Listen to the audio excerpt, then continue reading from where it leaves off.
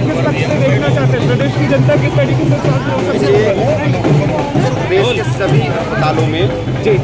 मरीजों को भगवान मान करके हम सेवा कर रहे हैं। अस्पताल परिसर में कोई दुखी नहीं मिलेगा सबको दवाइयाँ मिले उनको बेहतर इलाज मिले। डॉक्टरों का और पैरामेडिकल स्टाफ का व्यवहार बहुत अच्छा हो।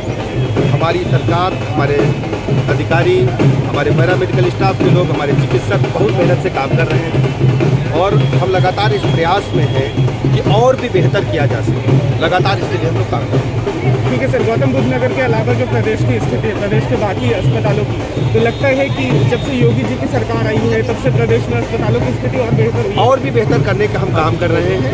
किसी भी अस्पताल परिसर को चाहे उपकेंद्र से लेकर PSC CSC district hospital medical college और भी बेहतर काम करें लगातार हम सुधार कर रहे हैं। सर लगातार स्टाफ तो अपना काम कर रहा है लेकिन सैलरी को लेकर काफ़ी सवाल खड़े होते हैं चल रही है देखिए, ये जो व्यवस्थाएँ धीरे धीरे सब सुधर जाएँगी और हम पूरा प्रयास कर रहे हैं कि हम सबको साथ लेकर चलें।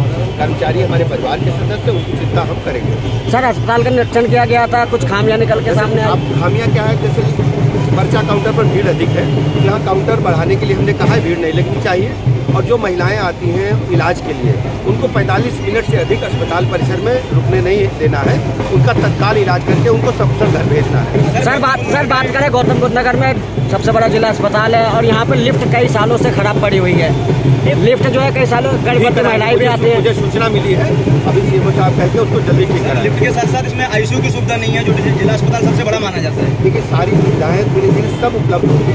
आप देखिए बदलाव नज़र आएगा।